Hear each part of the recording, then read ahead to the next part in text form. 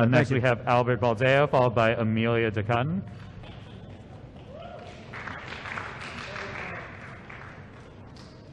I- I'm sorry, uh, Council, uh, Vattamala. You, you use the term performing plurality.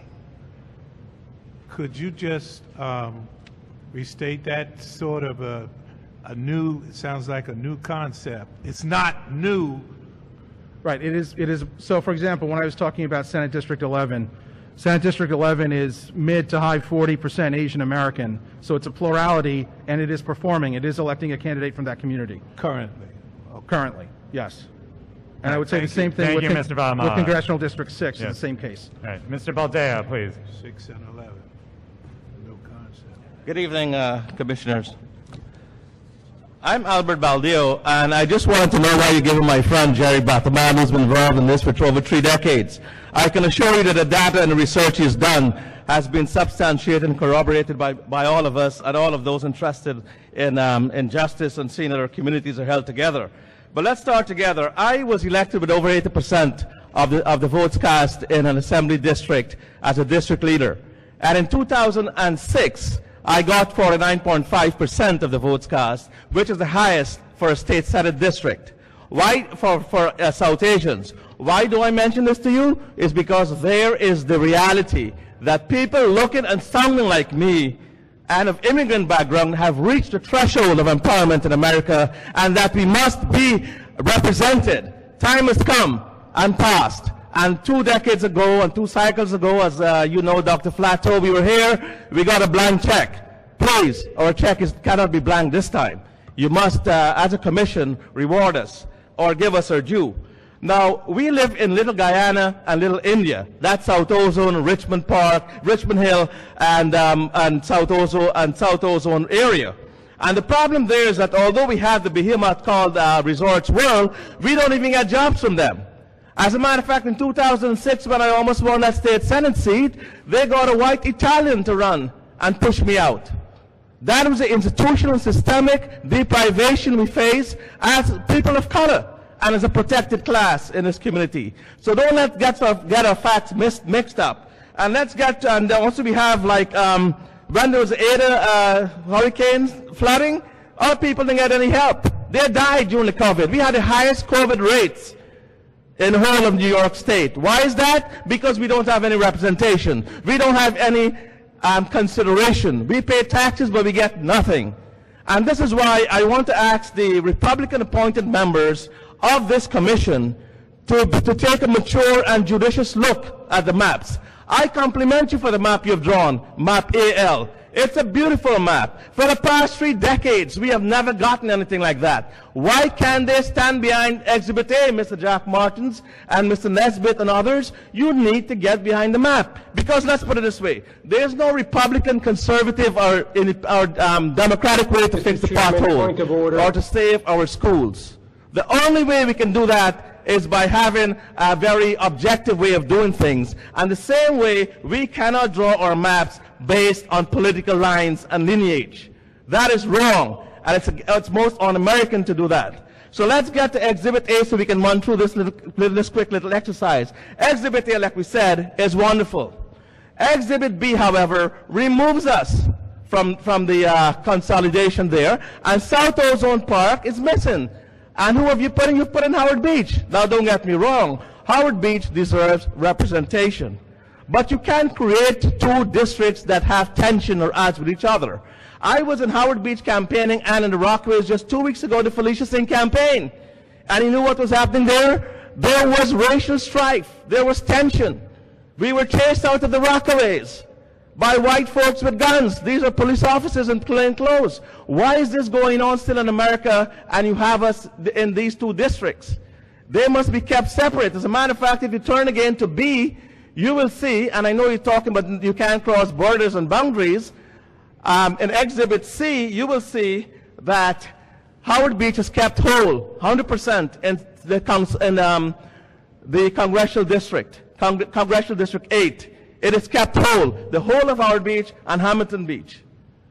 So if they, they have kept whole in, in the congressional district, why are you depriving them of representation and having a voice by cutting them or by pushing us, uh, by, by putting them with us?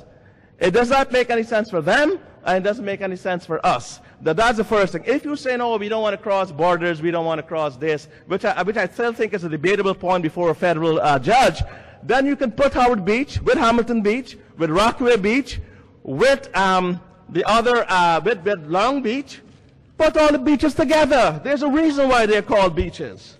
You have, you have Brighton Beach, Rockaway Beach, Long Beach, Howard Beach, and Hamilton Beach.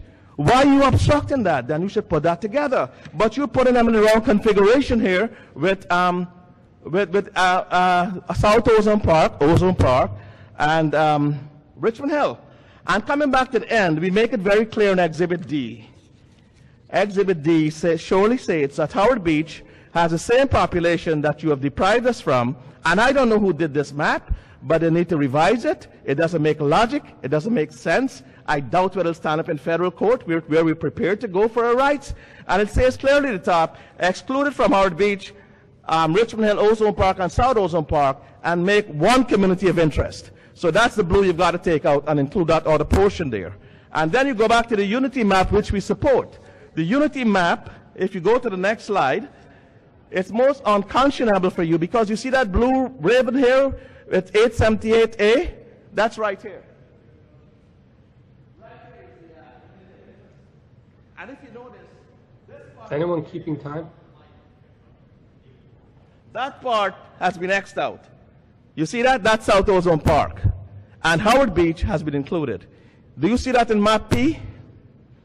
Map P, it takes out, it includes Howard Beach, but it takes out South Ozone Park. And that is the only, uh, the only little problem, not problem, but a little bit of a, of a little understanding we have with Unity, with the, with the Unity map, that if you can keep Howard Beach whole and yet keep South Ozone Park whole with the rest of the rest of the district.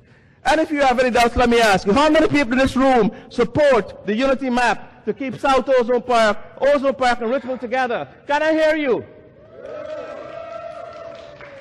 So there you have the unity map, and you have the vociferous map.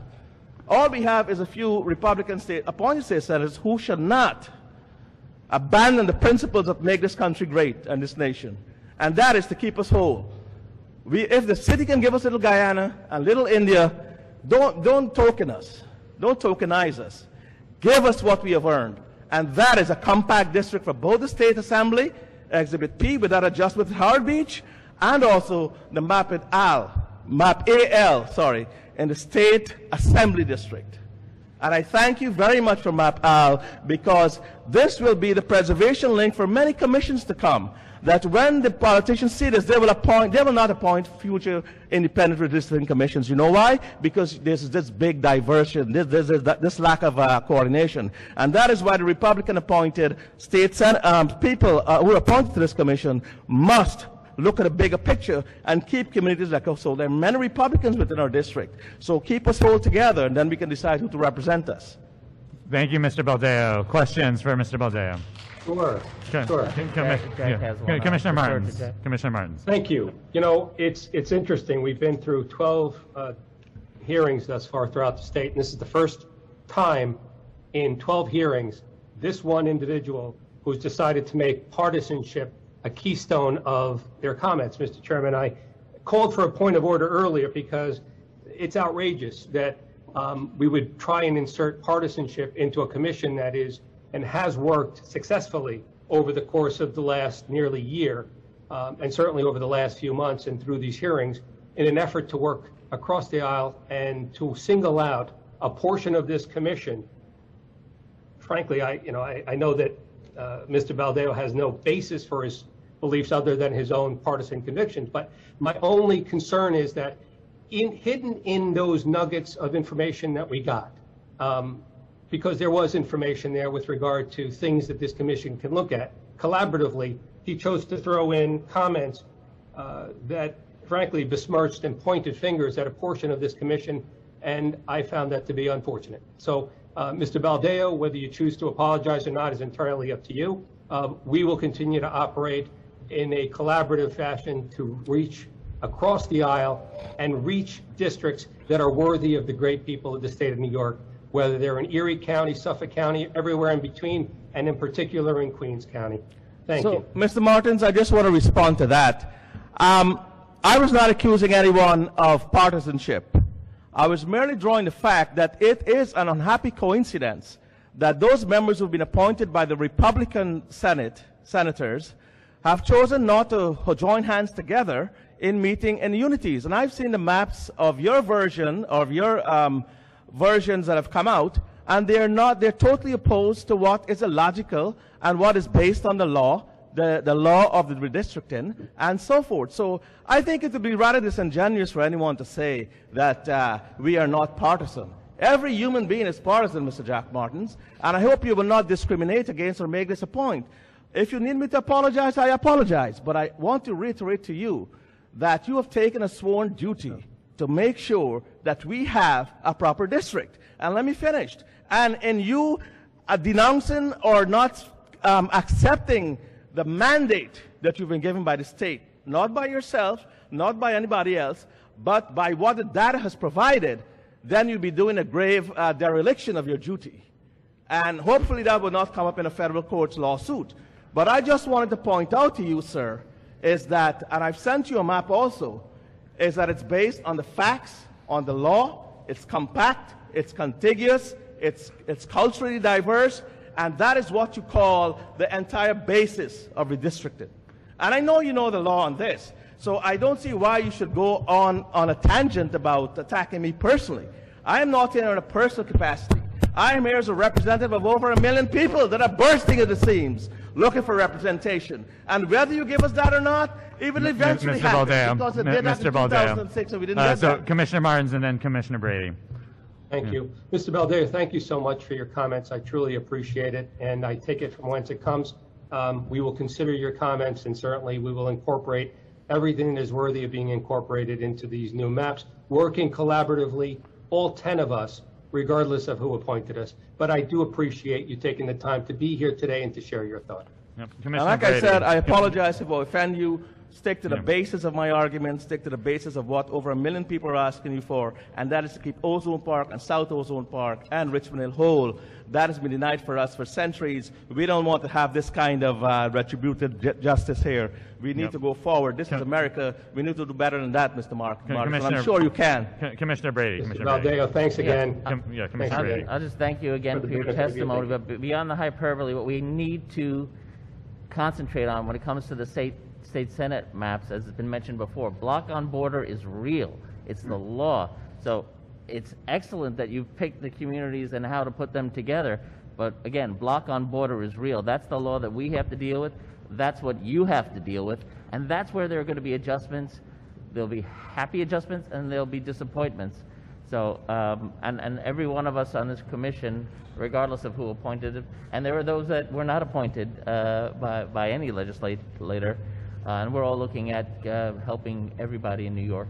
Uh, look, from I've been very Erie County frank. to Brooklyn. I'll be very and frank in what Queens. I've heard Don't the forget street. Queens. Yes, th- thank you. So I've told you that. And one thing in, in passing and going, I want to Yeah. just want to tell you that with Howard Beach, you could put it with Long Beach. No. And keep it in Queens. There's no problem absolutely in Rockaways. You can Mr. accomplish Baldeo. what you were being sworn to do. Thank you very much. One Thank more, you, Mr. one more, uh, C- one Commissioner more Nesbitt, question, yes. sir. Commissioner Having- Nesbitt. Having uh, been mentioned by name, uh, I, I think that uh, the difficulty here uh, is not in accepting your message about uh, representation or geography, but rather your assumption that the process has been somehow politicized. And I can assure you, sir, that when we drew these maps, we did the best job we could. And what, and uh, it was our preference on our side, the Republican side, so that you might know it, that we only present one map and that we were able, we would uh, deliberate with the all 10 commissioners to be able to do that. We failed in that, and I can tell you that uh, because of that, you have the raw material out there right now that will be very responsive to these hearings. And, I, and while I appreciate uh, your passion, I do not appreciate your misunderstanding of the process. I understand, Mr. Nesbitt, And I also um, want to reassure you that it's based merely on the facts, the data, the law, and our tortured history in securing representation, sir. I, I There is no which I don't history, believe sir. that you have There is no history with this commission. This is the first time that time will it's been tell, sir. done. Mr. Nesbitt, time will tell. All right, well, thank Thank you you, much. commissioners. Thank you, Mr. Baldeo.